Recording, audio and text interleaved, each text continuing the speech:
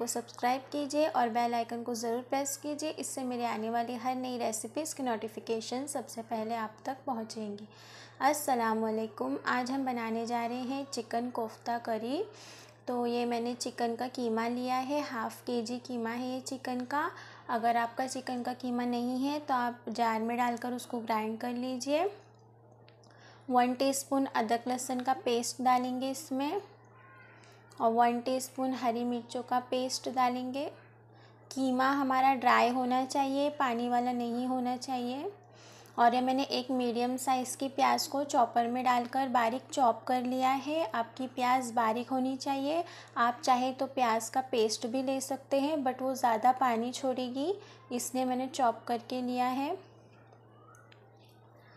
मसालों में मैंने one teaspoon salt, one teaspoon धनिया, वन टीस्पून ज़ीरा, वन टीस्पून गरम मसाला, वन टीस्पून लाल मिर्चें ली है और हाफ़ टी स्पून कुटी हुई मिर्चें, हाफ़ टी स्पून हल्दी ली है।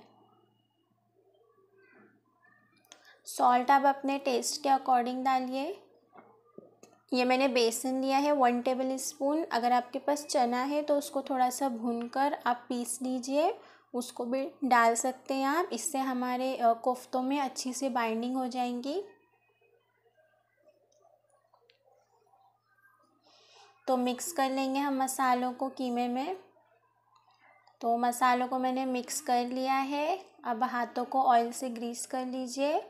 और छोटे छोटे हिस्से ले लीजिए और गोल करके उसके कोफ्ते बना लीजिए। आपको जैसा साइज़ चाहिए, छोटा या बड़ा आप बना सकते हैं बट कोफ्ते ज़्यादा बड़े नहीं होते हैं मीडियम साइज़ के होते हैं। तो ये देखिए, इस तरीके से राउंड कर लीजिए, कोफ्ता हमारा बनकर रेडी है। सेकंड वाला भी इसी तरीके से हम बना लेते हैं। बहुत से लोग सोचते हैं कि कोफ्ते बनाना बहुत मुश्किल काम है हार्ड होता है बट नहीं, कोफ्ते बनाना बिल्कुल इजी होता है, बहुत ही आसान होता है। बल्कि सबसे आसान कोफ्ते बनाना ही है। तो ये देखिए, सेकंड वाला भी हमारा बनकर रेडी है। इसी तरीके से हम सारे कोफ्तों को बनाकर रेडी कर लेंगे। तो सारे कोफ्ते मैंने बना लिए हैं। अब मैं इसको फ्राई करने वाली हूँ। तो तेल मैंने गरम कर लिया है। लो फ्लेम पर गरम किया था मैंने। ज़्यादा गरम नहीं करना है आपको। अगर तेल ज़्यादा गरम हो जाएगा तो ये ऊपर से कलर आ जाएगा और अंदर से कोफ्ते आपके कच्चे रह जाएँगे। तो मीडियम टू हाई फ्लेम रखिए और इसको फ्राई कर लीजिए। चिकन के कोफ्ते हैं, इनको पकने के लिए टाइम नहीं लगता है, ये जल्दी पक जाएँगे। तो मीडियम टू हाई फ्लेम पर हमने इसको पकाया है। एक साइड से देखिए अच्छा सा कलर आ चुका है, इसकी साइड को चेंज कर लेंगे हम और दूसरी साइड पर भी इसी तरीके का कलर आने तक पका लेंगे। आप चाहें तो इसको स्टीम कर लीजिए, स्टीमर में आप इसको स्टीम करके भी करी में डाल सकते हैं बट मैं फ्राई करके डाल रही हूँ। फ्राई करके डालने से टेस्ट और ज़्यादा बढ़ जाएगा कोफ्तों का। तो कोफ्ते हमारे फ्राई हो चुके हैं, इनको निकाल लेंगे। तो अब हम करी बना लेते हैं। करी बनाने के लिए मैंने दो बड़े चम्मच तेल लिए हैं। तेल हमारा गर्म हो चुका है, उसमें खड़े मसाले डालेंगे। दो छोटे तेज़ पत्ते एक बड़ी इलायची, तीन हरी इलायची, एक दालचीनी का टुकड़ा। चार लौंग और बारह से पंद्रह काली मिर्चें डालेंगे। ये मैंने दो मीडियम साइज़ की प्याज ली है, इनको डाल देंगे इसमें। और प्याज को हमें गोल्डन ब्राउन होने तक फ्राई कर लेना है। तो गोल्डन ब्राउन हो चुकी है प्याज हमारी। आप चाहें तो प्याज का पेस्ट भी ले सकते हैं। वन टीस्पून अदरक लहसुन डालेंगे। Half teaspoon green chilli paste लिया है मैंने।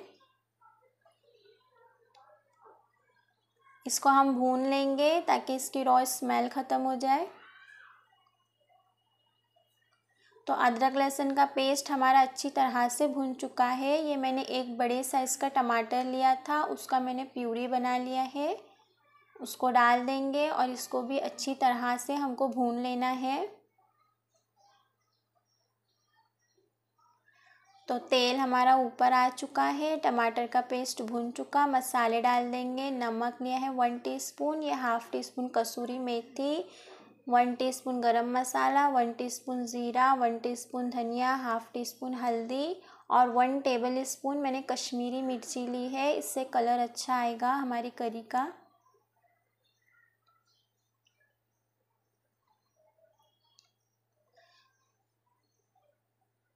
इसमें मैं थोड़ा सा पानी डाल रही हूँ ताकि मसाले हमारे जले ना।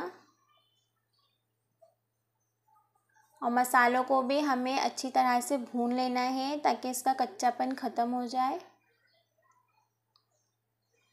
तो मसाले हमारे भून चुके हैं, इसमें हम दही डाल देंगे। आधा कप मैंने दही लिया है। दही को डालने से पहले आप अच्छी तरह से फेंट लीजिए, वरना वो दाने दाने हो जाते हैं, करी में जाने के बाद। तो उससे टेक्सचर ख़राब हो जाता है हमारी करी का।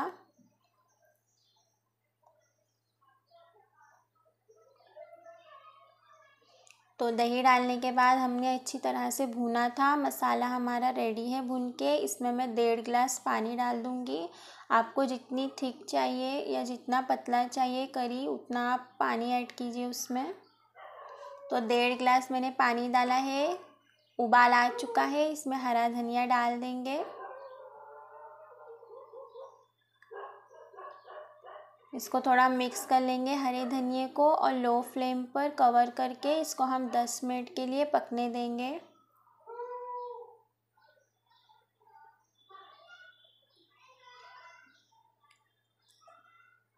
तो दस मिनट हो चुके हैं।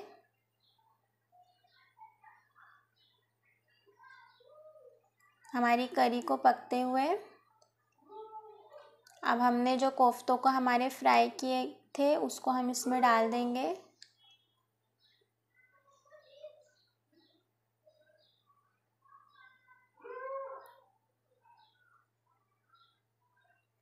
बहुत से लोगों की शिकायत होती है कि कोफ्ते हमारे टूट जाते हैं बट ऐसा कुछ नहीं है।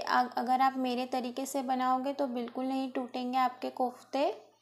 तो हम रेस्टोरेंट स्टाइल बना रहे हैं तो हमने इसमें फ़्रेश क्रीम डाली है, टू टीस्पून मैंने इसमें फ़्रेश क्रीम डाला है। फ़्रेश क्रीम डालने से करी स्मूथ टेक्सचर आ जाता है, रिच हो जाती है हमारी ग्रेवी करी की। तो ये देखिए, पाँच मिनट हमने इसको पकाया था, कोफ्तों को डालने के बाद में कवर करके। तो कोफ्ता करी हमारी बन के बिल्कुल रेडी है, इसको हम डिश आउट कर लेते हैं। ये खाने में बहुत ही टेस्टी लगती है, आप इसको ज़रूर ट्राई कीजिएगा। तो हमारी चिकन कोफ्ता करी बनकर रेडी है। अगर आपको मेरी रेसिपी पसंद आई तो मेरे वीडियो को लाइक करें शेयर करें और मेरी रेसिपी को ज़रूर ट्राई करें।